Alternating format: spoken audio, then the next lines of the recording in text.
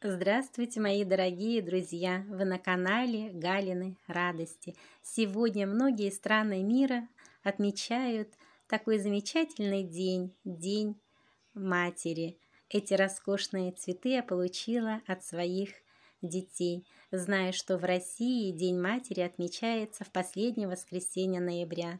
Но так как мы уже более 26 лет живем в Германии, то для моих детей День матери – это второе воскресенье мая. На шаре написано «Всего хорошего к материнскому дню». Вот такую красивую композицию я получила от дочери.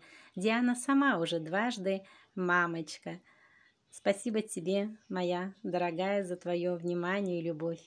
Она знает, что именно вот такие малюточки орхидеи я очень люблю. И столько сортов и видов, что я все время путаюсь.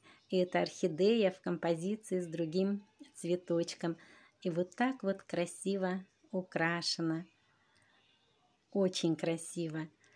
А этот роскошный букет получила от сына. Знаете, что он сказал, вручая его? «Спасибо, мама, за жизнь». От этих слов у меня сразу появились слезы. Я была очень-очень тронута.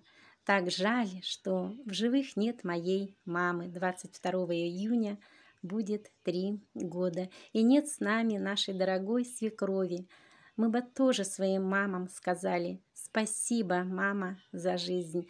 Поэтому я поздравляю всех мамочек с таким замечательным днем.